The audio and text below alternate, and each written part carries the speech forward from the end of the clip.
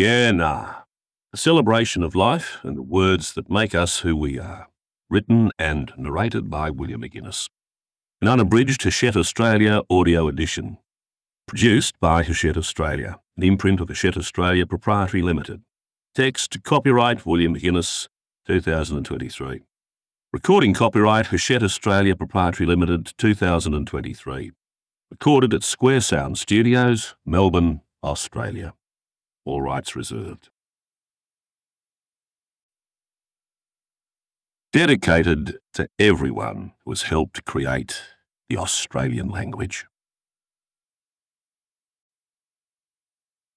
These are my memories.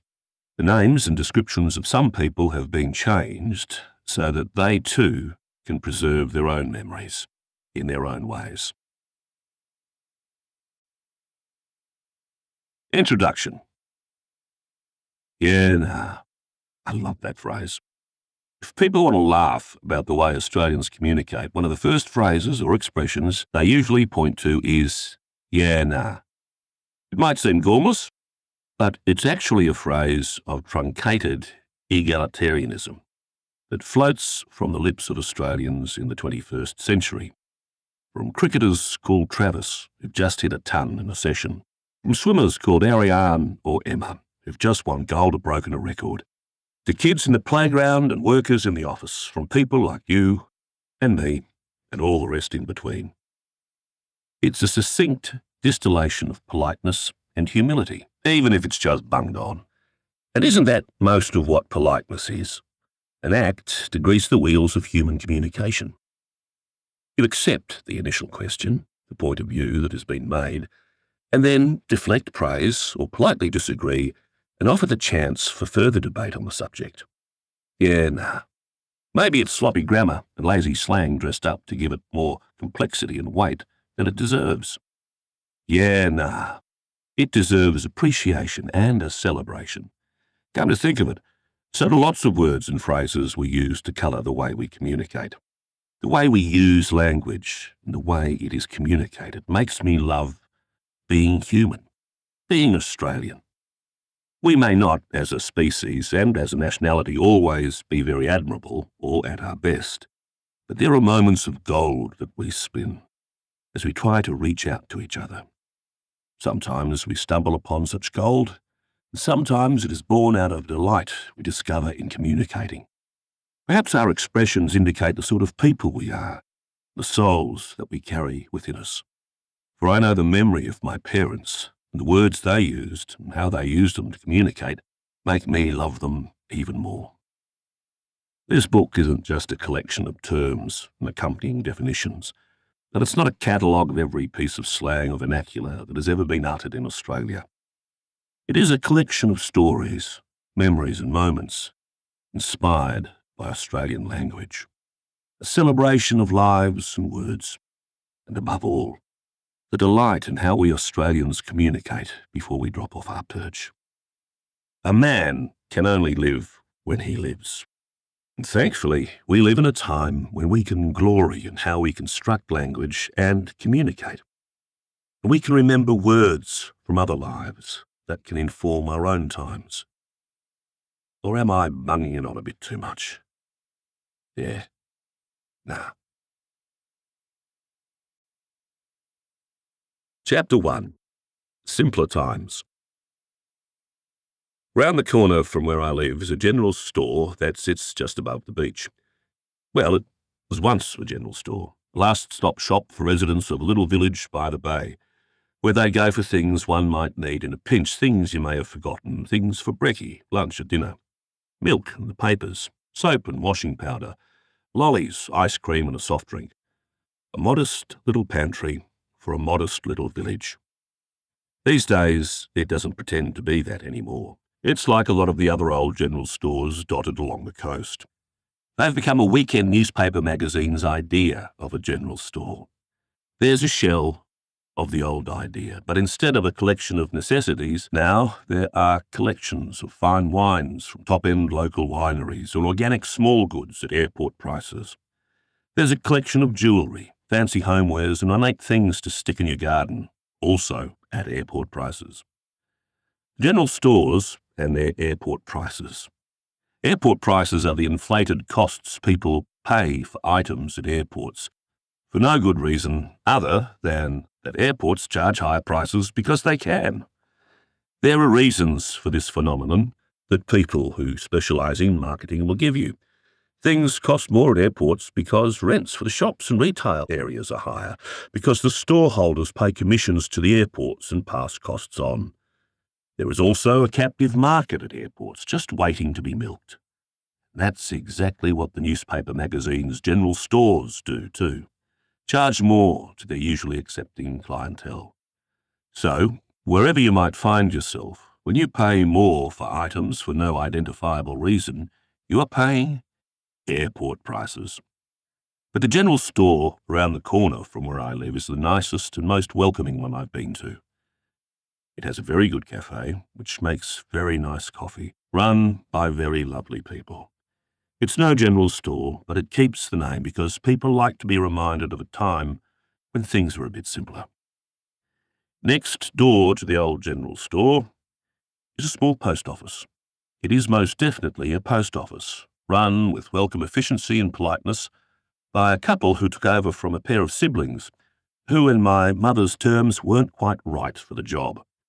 On the rare occasions you managed to receive any mail, you'd be forced to stand at the counter while one of the siblings pointed the barcode scanner at you and proclaimed, Wait, please, you're now being processed. It was even more awkward when they knew what it was that was in the mail. I purchased a crate of lovely Pinot Noir and went down to collect the wine and was met with a room full of customers waiting patiently to collect their parcels. Oh, more wine, William! Is it time to admit that someone might have a problem? I was taken aback, but a few other people laughed, so I thought it was all in good spirits. Then, a week later, I was sent a beautiful white rum as a gift, which elicited the following Bathing under spirits, the hard stuff, Cuban white rum. I replied that if this brand of rum was good enough for Ernest Hemingway, then it was good enough for William McInnes. I got a blank look, and then the pronouncement that I was entering my relatively oldish man in the sea period, or perhaps the largest oldish man in the sea. It was good fun. The post office and the general store are housed in one building, and they share a deck. You can loll about with a coffee, chatting to people you've bumped into, or you can browse at the free lending library on a small table next to a shelf that's home to various in-season citrus fruit that are free to take if you feel the urge. Standing there, you can look out over the trees and see the bay. A rocky outcrop on the horizon is known as the Nobbies. One arvo not long ago, I stood with my mate Leo and looked out at the bay and the Nobbies. I couldn't help but think of a couple of our friends who had to be rescued from the Nobbies in the 1990s because the inflatable boat they had decided to go sightseeing for seals in was sinking, and they were surrounded by sharks. I reminded Leo of the incident and we laughed a little. Jacques Cousteau, eat your heart out, you lovely old frog, Leo said as he sipped his coffee. The sharks, large ones apparently, were keen for more than just a spot of sightseeing for seals. They were after a seal meal and had mistaken one side of the Zodiac inflatable as lunch and taken a bite. The Noahs, as one of my pals on board described the sharks, then let go of the Zodiac and proceeded to prowl around as their snack began to sink. Thankfully, one of the people on board was another friend of ours, Phil. Though no Jacques Cousteau, Phil proved more than useful as a Bayside Bear Grylls. Phil was a landscaper who dreamed of coming up with the perfect dirt product, a mixture of shell grit, river soil, and according to Leo, a collection of 11 herbs and spices or some such stuff. The Colonel Sanders of Soil was also the one who had talked my pals into going on the Zodiac Inflatable for some seal spotting. As the Nobbies is a feeding ground for large fish who are quite fond of eating reasonably large seagoing mammals, this didn't really seem the wisest of decisions. Colonel Sanders redeemed himself, though, and went a long way to proving his adventurer status by navigating the sinking Zodiac to a rock where my pals clambered to safety, after nightmarishly stepping on the top of a Noah briefly, which then shied away after the Colonel heftily punched the shark a couple of times. While we sipped our coffees, Leo added that Phil gave up his dream of being the Colonel Sanders of soil and became a survivalist on Bribie Island in Tasmania. Bribie? Is there a Bribie Island in Tasmania? I questioned. I know there's one in Queensland. It's where Max Bygraves died. I suddenly thought of my mother.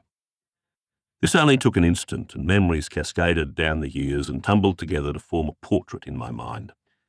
In her later years, Mum would go on day trips from the Redcliffe Peninsula, where she still lived in the house my siblings and I grew up in. She'd go with her great chum, Mrs. Kendall, often venturing to the mythical Twin Towns Club just across the Queensland border in New South Wales. Twin Towns was the first dip of your toe into the sea of sin and fun away from Queensland, home of pokies that for so long were banned in the Sunshine State. It also had a galaxy of food stalls, eateries, and boutiques, or booze-teaks, as my mum called them, because you'd have to be full as a tick to buy anything in them. Airport prices, even back then. There was also a large cabaret hall where international acts performed. The plan was for the two intrepid day trippers to set off to see Andy Williams, one of my mum's favourite crooners. Oh, lovely voice, nice hair, but those teeth! So big, so many, very Dutch looking, you know, but a lovely voice, was my mum's neat piece of profiling on Andy Dutch Williams. After that particular trip, I rang and asked her how it had gone and what Dutch Williams was like. A scoffing retort boomed down the phone. Blow Andy Bloody Williams. Couldn't get in to see the Dutch bugger. He was booked out, but I wasn't told. I went along for Moon River and got the double bill from bloody hell. It was like expecting to go to the Gallops and sit in the stand, and you end up at the dish lickers eating cold pies in the outer. What was the double bill, I asked. Bloody Pam Ayres and Max Bleeding Bygraves. Makes me laugh still. Max Bygraves was an old pommy entertainer, a song and dance man, bit of a song, bit of patter, jokes a bit off maybe, but a man of his time. A reassuring, familiar face who sang sing along songs with sweet melodies and familiar words to those who grew up with him. He ended up getting dementia, moved out to live with his son family on Bribie Island, so Mum told me. Some time later, my mum told me down the phone that Max had fallen off the perch. Dear old Max. Old timers got him.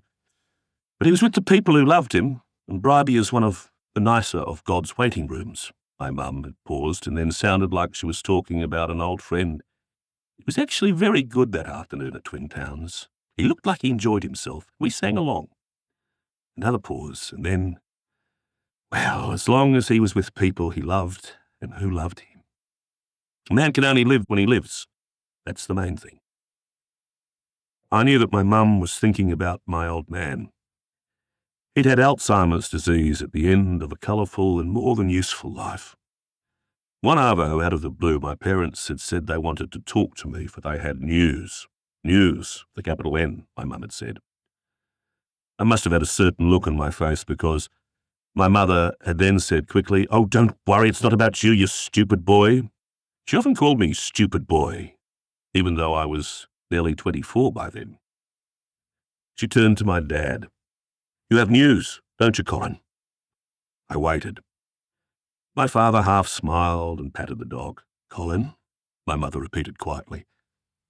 Yes, news. Oh, I've got a touch of the Alzheimer's disease. And he patted the dog again. Alzheimer's disease. After Mum had told me about old Max dying on Bribie, she began singing down the phone. She sang a song for me and Max and my dad, and maybe for herself. It was old Max Bygrave's song, Tiny Bubbles. An old song from long, long ago about champagne bubbles and being in love with the big golden moon above, and feeling how you're going to love someone until the end of time. All of this I remembered in a blink. And then I heard Leo speaking next to me on the deck. He'd thought about the island, Bribie, uh, no, it's the one that sounds like Bribie. He laughed. The Brown Eye Island, by which he meant Bruny Island. Yeah, nah, he said again. Survivalist on Brown Eye Island. Now that's a reality show I'd watch. We shared another laugh. Then we both noticed a kid waiting to go into the little post office. She was holding a basket in which sat a large black and white pet rabbit. I assumed it was a pet because there was a large spotted bow around its neck. Oh, bloody Tommy Austin, I muttered. Where I live, there are many, many rabbits, and only a small percentage of pets. The rest are the wretched grey descendants of Tommy Austin, the pommy colonists who decided to let these pests loose on the Australian landscape back when this continent was being won by people from England who barely knew their ass from their elbow, and almost nothing about the wonderful land that they had claimed as their own. Whenever I see a rabbit, I recall how an old rugby coach would refer to them as Tommy Austins.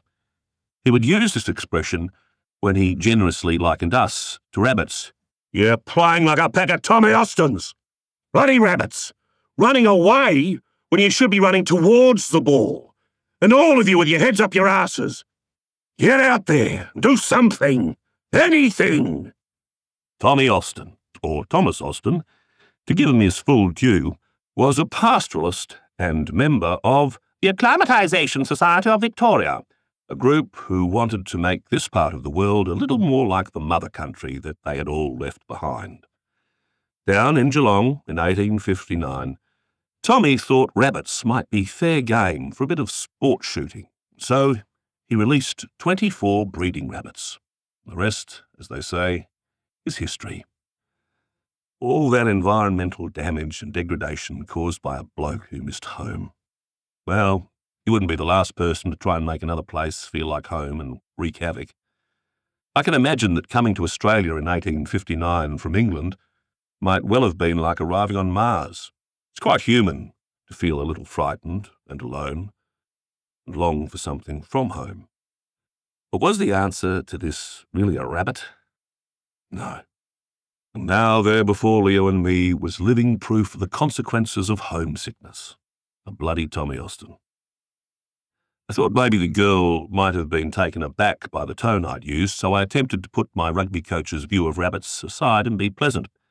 You're taking your rabbit for a picnic? I asked. The kid looked at me like I was an idiot.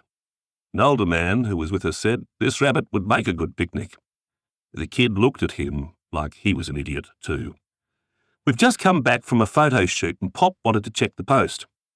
A photo shoot, said Leo. Yes, the girl said, as if a photo shoot was the most normal thing you would do with a great swollen black and white Tommy Austin in a basket. For the school newsletter's Pet of the Month. It might have been a Vogue front cover, the way she said it. Her pop laughed and patted her on the back. What's your rabbit called? I asked. Before she could answer, her pop weighed in. Stew, he said. Stew the rabbit, both a name and a statement of intent. That's why it'd make a good picnic. The kid took a big breath and said, Yeah, nah, Poppy. Poppy, Leo, and I all laughed. His name is Buttons, she said. Stew is such a lame joke, Poppy. Poppy patted her again. Perhaps, but we can only dream. And they walked into the small post office. Leo and I wandered off with our coffees, and I thought, not for the first time, how the Australian language astounds, confounds, and entertains. Yeah, nah, the kid had said. Yeah, nah, my mate Leo had said. I'd heard that phrase just the previous Friday night after a football game on the telly had finished. It's almost a given in any post-match interview.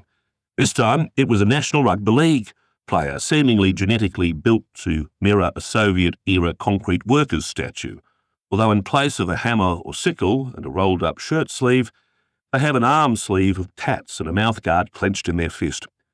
Fresh from the field and professionally prepared to answer the same questions every week, like a traditional litany in some vague ritual of today's communal celebration of belief. A sports broadcast. An off-camera, disembodied voice asks, uh, You dominated out there tonight from your first run. Now, was that a part of the execution of the game plan? The worker's statue, chest heaving in a striped jersey bedecked with the medals of sponsorship, gives the response expected, but in a voice that invariably and quite alarmingly sounds softer, much younger than what is expected from a human so big. Uh, yeah, no, just happy to play well against quality opposition. Stuck to the basics and happy to contribute. Happy with the win, yeah, nah. Yeah, nah. The kid had said it to a grandfather with equal parts love and attitude, and I thought, what a lovely human she'd grew up to be. The words I'd heard around me on that trip to the weekend newspaper magazine's idea of a general store and my recollections had bombarded me with colour and delight. We Australians also love a nickname or diminutive. The Nobbies have the formal geographical title of Point Grant on Phillip Island, named after a surveyor and naval officer, Lieutenant James Grant, of His Majesty's English Naval Forces. Grant had quite a meritorious career roaming the globe at His Majesty's behest, mapping, fighting, working in imperial administration and surveying. He was, by all accounts, a thoroughly decent bloke. As a man, he was upright and sincere, with a mind of his own, as well as being a gallant and skilful officer, is how the Australian Dictionary of Biography sums him up. Sounds like a character description of a Colin Firth type lead, no doubt dressed fetchingly in ruffles and tunic with a suitably pouty expression on his handsome face, the kind who appears in a Sunday evening BBC historical period drama popular in some of the finer Australian suburbs. In rounded tones, he'd soulfully say, I salute His Majesty's Grace, and fetchingly flare his nostrils just for good measure. Yet, even with all this Firthian nobility of service and character, Point Grant became known as the Nobbies because of the curious knob-shaped rocks found in the shallows. So the name is based on what people thought the geographical formations looked like, instead of what some official proclaimed they should be called. It represents that comfortably rebellious trait of Australians. Australians also love something a bit more informal, the Nobbies is a bit more familiar and warm than Point Grant, and even hints at the promise of a bit of fun. Actually, Nobby's Grant sounds like a character name from some geezer caper film about Cockney lads, so you go from Colin Firth to Ray Winstone. Yeah, check out this mass of water with these funny rocks in it. Bloody marvellous. Have this lot surveyed in a wink me eye. There might even have been a part for old Max Bygraves, or at least one of his familiar old tunes on the soundtrack. It's as if those rocks are just a collection of someone's old mates, the Nobbies, or maybe an English pop band popular in the 1960s, who are now on a club and RSL tour of Australia, playing all their old hits. Live hits of the Nobbies! We delight in mangling words and names, rummaging around in our minds to somehow turn Bruny Island into Brown Eye Island, a simple, though perhaps juvenile, piece of fun. Calling sharks Noahs is old Australian rhyming slang. Shark equals Noah's Ark, and because we are Australian and shorten everything, Noah's Ark became Noah's, again offering that ring of familiarity and the faint hint of absurdity at the proprietorial nature of Noah and his sharks. My mother's expression of disappointment when she didn't see Dutch Williams and his brigade of large white teeth and lovely voice but instead had to sit through Pam Ayres and dear old Max Bygraves, is pure Australian vernacular. Dutch was a top shelf act, a real treat, and so was akin to sitting in the grandstand at the gallops, that is, the horse races, watching thoroughbreds with the other toffs while drinking fizz, champagne, the pinnacle of a day at the races. It turned out she didn't get the gallopers, but instead Max and Pam, who were akin to eating cold pies at the dishlickers otherwise known as the greyhound dog races, a more down-at-heel form of racing entertainment. Incidentally, greyhounds were a favourite source of metaphor for my father. The nearest dishlicker, sorry, greyhound, track to us in Redcliffe was at Lawnton, and this lent itself to a rather lovely expression of my father's to describe beckoning disappointment. When my father heard my brother had taken a girl out to a Pizza Hut restaurant on a romantic first date and had then wondered why love didn't blossom, he had opined, Jesus Christ alive, son, you promised her the world and all you delivered was the Lawnton dogs. No wonder she's not coming back for another dip. The dishlickers also made an appearance when he was expressing doubt about the Labor Party's prospects in a coming state election. Oh, we've got about as much chance to win this as a three-legged greyhound with an eye patch. Mum described Bribie Island, where Max Bygraves shared his last days with people he loved and who loved him as one of God's nicer waiting rooms. Humorous, gentle, and reassuring way of putting in perspective what waits for us all. And of course, Max didn't simply die, but fell off the perch, the way a budgie in a cage might when it dies. My father's play on words in describing the news that he had to share as he sat with people he loved and who loved him, that he had a touch of the old timers, were the words of quiet courage and generosity of an extraordinary, ordinary bloke. It was the beginning of a horrible disease that descended and overwhelmed him. But Alzheimer's was put into a perspective that was manageable. It was something that wasn't to be worried about too much, just a touch of something. Perhaps fate or bad luck that you had to take on the chin and accept. Maybe it was because my dad and mum's generation were people who didn't think that anything was owed to them, especially by life. They lived and worked and took what came their way, sometimes bending life a little to their own advantage, but mostly just dealing with things like most others did. There was no sense of entitlement, no sense that anything was owed to them because of who they were. It was, quite frankly, a rather heroic way of being or as some people might like to say, trying to explain a rather selfless view of life. It was simpler times.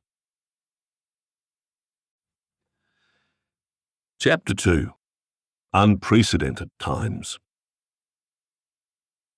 When I was very young, and even as I grew older, my mother had a phrase she would utter to all her children, her grandchildren, and perhaps even herself, sometimes as a warning, or sometimes as a kindly effort to cajole someone out of an impending mood or sulky sook. Come on, no hand with Hanrahan's here in this family. We're a glass half full mob, so get yourself on the William Jolly Bridge. It meant basically to stop moaning, get a grip, and get to a happy place where you could deal with the rest of the day. It may seem a bit of a mouthful, but it makes perfect sense to me. A Hanrahan comes from the title character of an old Australian bush ballad, said Hanrahan. It was written by a priest called Patrick Hartigan under the pen name John O'Brien, and was in part a quiet homily and a gentle satire on the types of people he found in his parish. It was read by teachers at school, then recited unsteadily by we students with a decided lack of enthusiasm, for it was hard to get your mouth around how some parts of the poem were written. This was because, according to our teacher, Miss Law, the poem was written in a dialect of the bush, which prompted one boy called Russell to attempt a spot of classroom humour by reciting it in a wavery voice, complete with his thumb and forefinger pinching his Adam's apple. He then proceeded to rather violently wobble his throat while interspersing the poem's lines with exclamations of, Exterminate! Exterminate! When the teacher asked what he was doing, he stated he was being a Dalek from the bush, you know, like from Doctor Who. Russell was given short shrift from Miss Law, who described him as a ning-nong, an irresponsible student, and sent him off to the office for caning. Miss Law had certain form with her ideas of responsible student behaviour. In February of 1972, not long after we had started to come to terms with the Dalek dialects of the Australian bush, our classroom television sets were tuned to the ABC for the historic meeting of President Richard Nixon of the United States and Mao Zedong, the chairman of the People's Republic of China, after decades of barely contained Cold War belligerence. Not long after the class had begun for the day, we were informed by Miss Law that these two men, the Chinese man in a shapeless grey jacket with a haphazard military cut, and the jowly American with dark, shiny, wavy hair, who looked like he was from the tribe of men who'd flogged used cars or washing machines on the television commercials before the Sunday Arvo footy replays, had the power to blow up the world in the time it took we students to have little lunch. Little lunch was morning recess. Big lunch was the day's lunch break. You should pray, Miss Law suggested, that we make it through to big lunch. She paused and ended on a rather chilling note, and beyond. Well, no pressure, Humpybong 3D. We had to pray to save the world from destruction, as if we didn't have enough to contend with with Hanrahan and his Daleks. But somehow, we managed to get through both Little and Big Lunch and beyond without the world being ruined, to quote Hanrahan. My mother would also recite the poem on occasion, for she loved an excuse to bung on a funny voice, and said Hanrahan is a cracker for a bit of hammy noise. One such occasion was Boxing Day at my aunt's, who had a collection of what she referred to as talking poetry records. Said Hanrahan appeared on a few. The version she played the most was by an Australian actor called Leonard Teale, who we knew was famous because he was on Homicide on the telly and had bushy Thunderbird's eyebrows and a fruity, adenoidal baritone voice. When he got to the part where Hanrahan would start with the Bush Dalek bit, both my mum and auntie would boom, We'll all be ruined!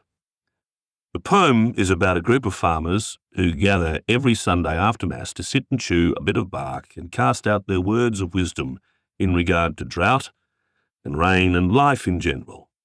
One, a crusty old coot called Hanrahan, only sees ruination, never strays from his observation that disaster is imminent. If there is drought, we'll all be ruined before the year is out.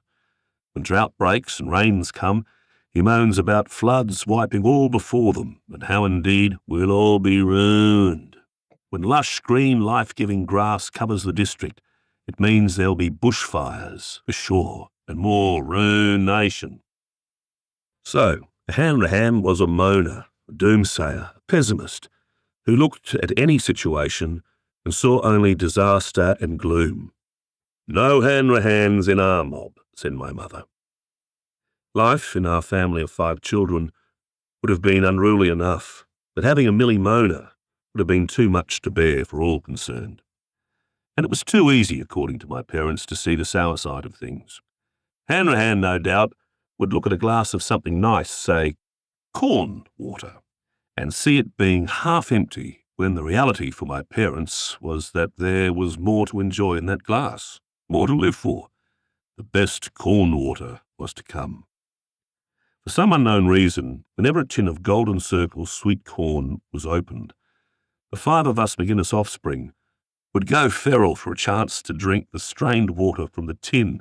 Corn water sounds like something hillbillies from the Ozarks would distill with their other moonshine. That sweet yellow translucent broth from the bottom of the tin was like gold to us. Go easy with that, said my mother as she shared the glass of corn water around her brood as if she was a first mate doling out diminishing water rations to a lifeboat of shipwreck survivors. Someone would invariably say, It's nearly gone. And my mother would hold the glass out in front of the protester's face and boom, Look, see, it's really there. A glass half full. It made sense to us. A friend of mine had an Uncle Barry, an old Brisbane boy. He used to say that when he felt in a bit of a grump, he'd jump on a CityCat and enjoy the bridges. There are 16 bridges crossing the Brisbane River, and they're more than just pieces of city infrastructure. My friend's uncle loved the bridges of Brisbane, loved how all the structures had their own personalities and were stories in themselves. Uncle Barry had a kindred spirit in my mother, for she would see the graceful Art Deco arches of the William Jolly Bridge and turn that river crossing into a magical pathway to a happy place. Remember, no Hanrahans in this mob. We're a glass half full mob, so get yourself on the William Jolly Bridge. Just before the thing that we came to know as the COVID pandemic descended fully upon us, I sat in an airport lounge after missing yet another flight and thought to myself, I'd best get to the William Jolly Bridge. Sometimes it's easy to be grumpy about things because there are so many reasons to be driven round the bend by what goes on in the world seriously tempting not to get out of bed. Ironically, at the time, I was looking down at a glass of beer I was halfway through drinking. Was it half full or half empty? Sometimes you have to rely on hope. No Hanrahans in this mob. I then made the mistake of paying attention to the television on the wall for a few moments. The stories were of unrelenting awfulness a mother and her children fatally assaulted on the streets of Brisbane, a shot of floral tributes marking the site of the attack, and then a parade of doom-laden predictions about the coronavirus that was just emerging. Sitting not far from me was a mother with three children, young children. They were looking up at the television screen. A shot of a plush toy amid the floral tributes. Mummy, a teddy, said the little girl, pointing to the screen. Yes, a teddy, the mother said softly. Then she reached out to her daughter and softly stroked her head. They watched the screen while the mother gently stroked her daughter's hair. It was a warm and tender gesture, almost protective. Why are they wearing masks? The smaller of the boys asked the mother. He was talking about the scenes of people from around the world with face masks, others in hazmat suits spraying disinfectants to try to contain the coronavirus. To try to keep themselves safe, to keep from getting sick, said the mother. To try to help other people from getting sick. Will we get sick? asked the daughter.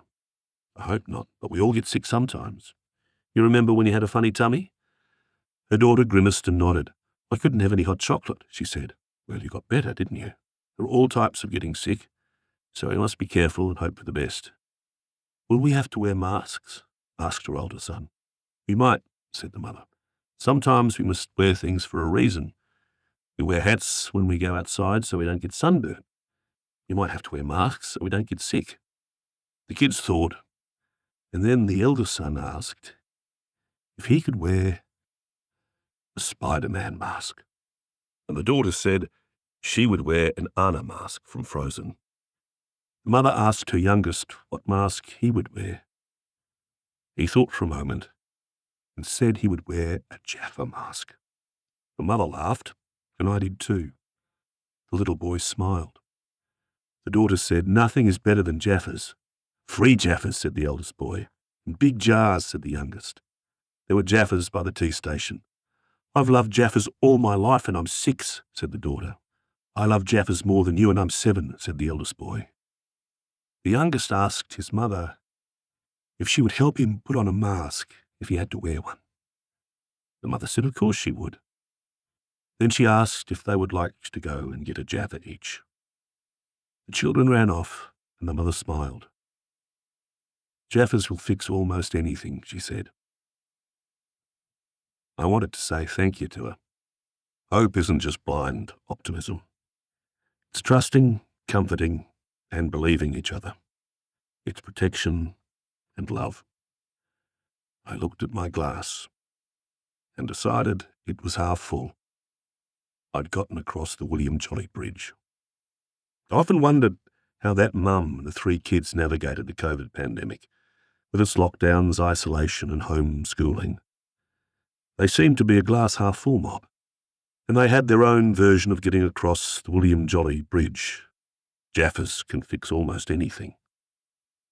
So I assume they did okay.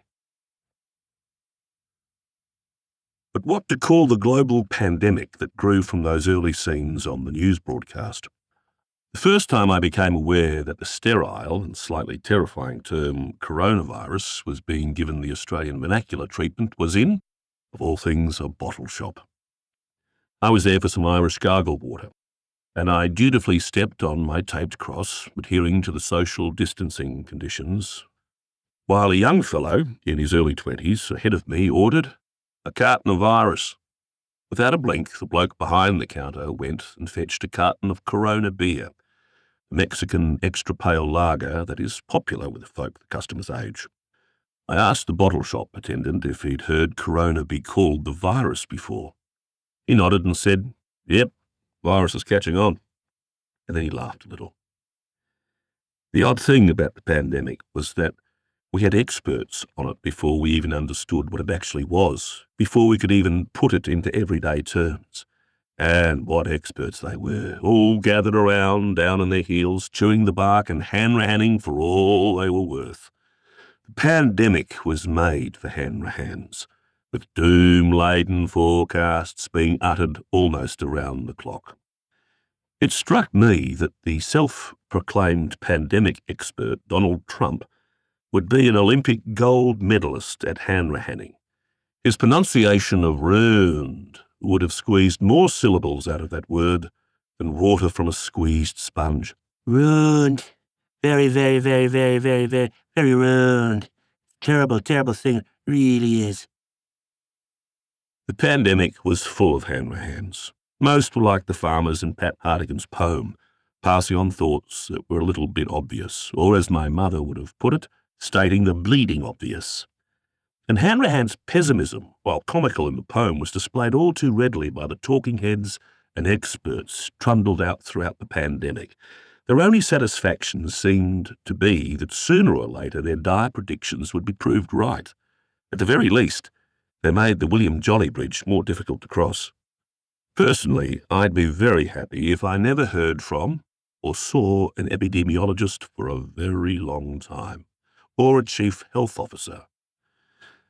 Our language of this time seemed to be filled with acronyms PCR, RAT, PPE, ICU. It's a sure sign of a crisis when capital letters are used on a daily basis. Forget about trying to understand what a polymerase chain reaction is. Just call it a PCR. A PCR is a sort of rapid antigen test, which became a RAT. But when you had one, people would say they had taken a rat test. Repeating the word test made it sound like baby talk. A rapid antigen test test. The same for PPE, which sounded like someone being coy about urinating on the sly, instead of being personal protective equipment. That sounds like a secreted gun or baseball bat under the counter. ICU sounds like a segment from Play School, the preschool education show on the ABC, the Australian Broadcast Corporation. I see you, says Big Ted to Jemima as he jumps out to give her a friendly fright. But Jemima doesn't want to see you, Big Ted. So that is why she grabs a baseball bat and belts you around your furry melon. And so Big Ted ends up in the intensive care unit. Best stick to the acronyms. That made for more efficient communication, even though nobody completely knew what it was that was being communicated. People you knew only by sight and had never chatted to at length suddenly became people you would pass some of your COVID time with while doing the most mundane activities.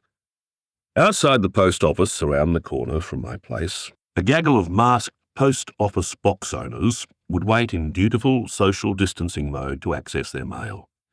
A very nice woman, who was the owner of two pleasantly behaved Afghan hounds, called the Daily News. We hope you enjoyed this preview. To continue listening to this audiobook on Google Play Books, use the link in the video description.